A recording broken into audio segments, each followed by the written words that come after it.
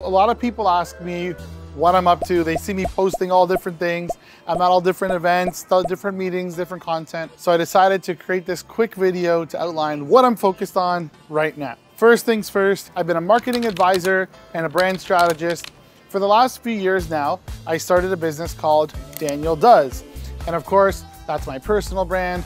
I do training, I do content, and of course, I help brands and organizations with their marketing and messaging. Then I started an agency almost 11 years ago now, and that was combined forces with King Street Media.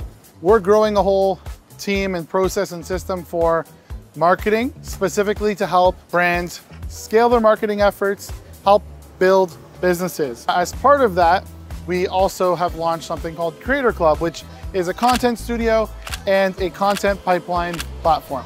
Outside of all that, I do teaching primarily in, in marketing and advertising. I recently launched my latest venture called The Good Growth Company. The Good Growth Company is a training company focused on upskilling leaders and teams in the nonprofit space. And the whole purpose of that is to really help organizations build the capacity they need, get the skills they need so that they can increase their impact and do the work that they are so passionate about doing, but giving them those extra skill sets. And it's not about just a whole catalog of existing recordings. I'm designing this company in a way that allows for engaging Q&A sessions, sessions from a curated roster of trainers that I put together who work in and outside of the nonprofit sector so that we have a huge range of skill sets to pull from and expertise. And finally, Access. That's the nonprofit organization that I started way back when I was in high school. The purpose of that organization has always been